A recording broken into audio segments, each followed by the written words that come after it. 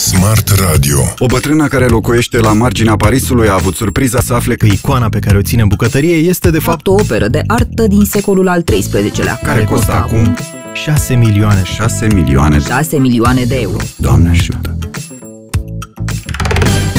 Auzi cum vezi lumea